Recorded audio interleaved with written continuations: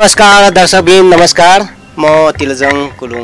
यो तिलजङ इन्टरटेनमेन्ट च्यानलबाट आज हाम्रो पीडा फिल्मको भूमिकामा रहनुभएको हाम्रो विकेशजीलाई मैले पीडा फिल्मको बारेमा केही सोध्न गइरहेको छु। हजुरलाई स्वागत छ। नमस्ते। समाजलाई के सन्देश दिने खालको कि लभ स्टोरी कि कस्तो खालको यो फिल्म बनेको छ? यो फिल्मको बारेमा भन्नुभन्दा अगाडि पहिला हामी के थियो भने हाम्रो यो फिल्म पीडा फिल्मको डाइरेक्टर हुनुहुन्छ बुद्ध श्रेष्ठ सर होइन? उहाँसँग मेरो पहिल्यै पाँच वर्ष भयो भेट भएको। लगभग लगभग चार वर्ष हुन लाग्यो सँगै काम गरेको। र हाम्रो यो प्लानिङ चलिरहेको थियो फिल्मको लागि अन्त फिल्मको प्लानिङ चल्दा चल्दा फेरि यस्तो भयो अब यो कुरा होइन अब हामी उहाँसँग चाहिँ टच भएर हामी अब मै खेल्नुपर्छ भूमिकामा भनेर भएन स्क्रिप्ट अनुसारले हुन्छ होइन। हजुर अनि भनेपछि यो हाम्रो बुद्धजीले चाहिँ तपाईँलाई बोलाउनु उद्देश्य कारण चाहिँ के हो? तपाईँमा के दिनुभयो? अनि कारण चाहिँ यस्तो हो मेन कुरा के छ स्क्रिप्ट मैले भने नि स्क्रिप्टको डिमान्ड हुन्छ होइन। अनि फेरि मेन भूमिका म छु भन्ने होइन भूमिका धेरैले गर्नुभएको छ।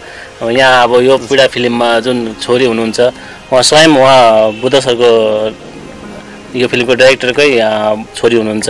मेरो छोरी बनेर खेल्नु भएको। धेरै धन्यवाद। अनि यो कस्तो खालको फिल्म बनेको छ? अनि समाजलाई कस्तो खालको सन्देश दिन्छ यसले यसले तपाईँको के हुन्छ भने सन्देश के छ भने यस्तो चाहिँ नहोस्। मेन कुरा। किन भन्दा प्रायः जस्तो यही हल्ला खल्ला सुनिन्छ यस्तै हुन्छ। तर हाम्रो यो यो माइन्डले हामीले चेन्ज गर्नुपर्ने हुन्छ क्या। र यस्तो विकृति कहिले पनि नहोस्। भनेपछि समाजमा यस्तो नहोस्। यसले चाहिँ राम्रो सन्देश जाओस् र अब समाज चाहिँ नाबिरोस् भन्ने खालको नबिगोस् भन्दा पनि तपाईँको यो चाहिँ यो हेरेर चाहिँ सिकोस् क्या कतिवटा कुरा। यस्तो नहोस् नगर्नु पर्यो। किन भन्दा एउटा चिजले यो फिल्ममा नि भनिरहेछ नि घरको एउटा सदस्य यताउता भए पनि बिग्रिन्छ। धन्यवाद। अनि फिल्म हेरिसकेपछि यस्तो चाहिँ अब नबनेको हुन्थे। यो चाहिँ गल्ती भयो जस्तो लागेको चाहिँ छैन। अनि यस्तो हुन्छ फिल्म हामीले बनाइन्छ बनाएपछि कुनै पनि फिल्ममा हामी मात्रै होइन सबै अरू अरू अरू फिचर फिल्ममा पनि त्यही हुन्छ। ओहो यसमा मैले अझै यस्तो गरेको बेटर हुन्थ्यो। अब सबैकोमा त्यही हुन्छ किनकि हन्ड्रेड पर्सेन्ट यहाँ कोही हुँदैन। यदि हन्ड्रेड पर्सेन्ट दिन सक्यो भने त अब त्यो अलग लेभलमा आइहाल्यो। अवश्य यो त रियल तपाईँले भन्नुभएको कुरा सही नै हो। र अब आउँदो दिनको फिल्ममा चाहिँ तपाईँले यही खालको फिल्म बनाउनु चाहनुहुन्छ कि अलिकति कस्तो फरक खालको फिल्म बनाउनुहुन्छ? के छ तपाईँको विचार यसमा? अब यो पीडा फिल्मलाई हामीले जति जहाँ जति सक्दो यो डकुमेन्ट्री फिल्म चेरिटी फिल्म भइहाल्यो होइन अनि आउने प्लानिङ हामी फ्युचर फिल्ममा पनि प्लानिङ गर्दैछौँ।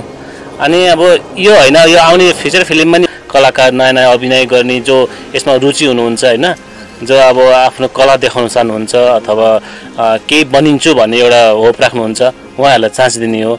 यदि यदि यो खण्डमा केही अब आफूले पनि सहयोग गर्नुपर्ने छ जस्तो यो पीडा फिल्ममा पनि त हाम्रो बुद्ध सर आफै डाइरेक्टर आफै खेल्नु भएको छ। किन भन्दाखेरि यो खास गरी डकुमेन्ट्री फिल्म चेटी फिल्म हो कास्टिङ कम्ती हुनुपर्ने हो तर स्क्रिप्टको अनुसारले कास्टिङ धेरै भयो। होइन? अब धेरै भएर कास्टिङ नपुगेर नै हाम्रो स्वयं डाइरेक्टर साहब पनि खेल्नु भएको छ। ए भनेपछि अ, उहाँको चाहिँ पहिला भूमिका चाहिँ थिएन थिएन। पछि फिल्म बनाउँदै जान्दै गर्दाखेरि चाहिँ बनाउँदै तपाईँ स्क्रिप्टमै पहिल्यै रेडी थियो? ए हजुर हजुर। स्क्रिप्ट रेडी थियो अनि। कास्टिङ अब कलाकार नपुगेर चाहिँ कलाकार चाहिँ नपुगेको हुनाले चाहिँ निभाउनु भयो भूमिकालाई। र उहाँको भूमिका एकदम राम्रो छ। सबैको भूमिका राम्रो छ कि कसैको मतलब अगाडि पछाडि केही छैन सबैको ओके छ। जहाँसम्म लाग्छ मलाई चाहिँ होइन अब यो हात भनेको दर्शकको हातमा हो। तर हाम्रो चलचित्र विकास बोर्डमा रिलिज भएको अनुसारले जति पोजिटिभ रेस्पोन्स आयो राम्रो सबै दर्शकहरूले राम्रो भनिदिनु भएको छ। यो नै हामीलाई धेरै धेरै ठुलो कुरा हो।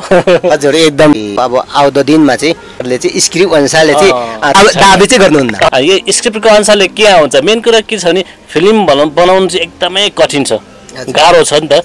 किन भन्दा सबै चिज समेट्नु पर्यो। यहाँ सानोदेखिको लिएर ए टु जेडसम्म हामीले यहाँ सबै हेर्नुपर्ने हुन्छ। अनि त्यसमा यताउता भइदियो पनि गाह्रो हुन्छ। त्यही भएर चाहिँ अब नपुगेको जग्गामा आफू गर्ने हो। किन अब यहाँ फिल्ममा अब क्यामराम्यान म आफै छु होइन? अनि अब म आफै लिडमा पऱ्यो भने क्यामेरा कसले चलाइदिने? त्यो पनि गाह्रो हुन्छ क्या। अँ, भनेपछि अब यो फिल्म बन्ने बेला मात्रै अलिकति सजिलो जस्तो बनाइसकेपछि मात्रै अलिकति सजिलो जस्तो देखिन्छ। देखिन्छ नि बनाउनुलाई त गाह्रो हुन्छ होइन? बनाउनु नै सबभन्दा ठुलो गाह्रो हो होइन? अब हामी यहाँ जब यो एउटा भनौँ न खानापिना भात तिन तरकारी पकाउँदा पनि गाह्रो हुन्छ नि कोही बेला नमिठो पाक्ला कि भन्ने टेन्सन हुन्छ। तर खाने मान्छे त नमिठो भयो अथवा के मिलेन भने तर बनाउन गाह्रो छ नि त त्यो त आफूले बुझ्नु भयो। त्यही त्यही त पीडा हो। एकदमै अनि अझै पनि फेरि काठमाडौँमा चलाउने कुरा हुँदैछ नि त्यो हो। हजुर सकेसम्म हामीले यहाँनिर हामी सबै कुरो सबै जग्गा जग्गामा कुरा मिलाउँदैछौँ होइन सो चलाउनलाई। अनि यो सो चलाइसकेपछि हामी अब बाहिर पनि जानेछौँ यो भेली बाहिर पनि जानेछौँ अनि त्यसपछि चाहिँ अब यो ज जबसम्म यो फिल्मको पीडा फिल्मको हामी सो गरिसक्छौँ सकिसकेपछि चाहिँ हामी अर्को नेक्स्ट प्लानिङमा जाँदैछौँ। भनेपछि यो आउने सोमा चाहिँ पहिलाको भन्दा धेरै अब दर्शकहरू चाहनुहुन्छ अथवा कसरी धेरै बनाउन सकिन्छ भन्नेतिर चाहिँ अहिले सोच विचार छ कि छैन? त्यो सोच विचार त हाम्रो सबै टिमकै छ होइन? किन मेन कुरा हामीले प्रचार प्रसार गर्नु पऱ्यो यो फिल्मको। हामी जग्गा जग्गा लानु पऱ्यो चिनाउनु पऱ्यो मेन कुरा त्यही भएपछि चाहिँ हामी सबै जोडिन्छ। अस्तिको अ, सोमा चाहिँ अब सबैलाई अब सन्देश दिनु पनि पाएन। तर पनि अब त्यहाँ चाहिँ सो चाहिँ राम्रै भएको थियो होइन तपाईँको? हजुर हजुर। सो एकदमै राम्रो भएको थियो। अब हाम्रो पनि सुरु फर्स्ट टाइमको सो भनौँ न होइन। फर्स्ट टाइम सो भएको। अब कति कुरा अब हामीले पनि बुझाउनु गाह्रो बुझ्नु पनि गाह्रो भयो होइन।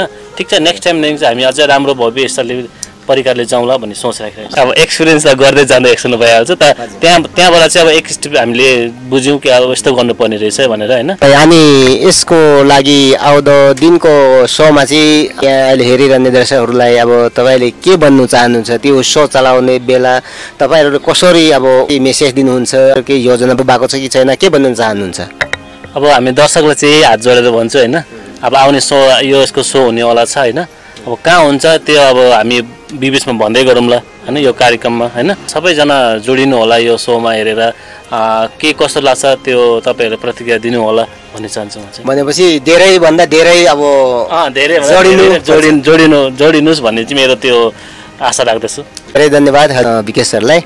अनि अरू केही अन्तिममा छुटेको तुतेको केही छ भने तपाईँ बन्नु चाह बन्नु सक्नुहुन्छ। छुटेको टुटेको भन्नाले चाहिँ के छ भने हामी यो हाम्रो पहिलो काम हो होइन?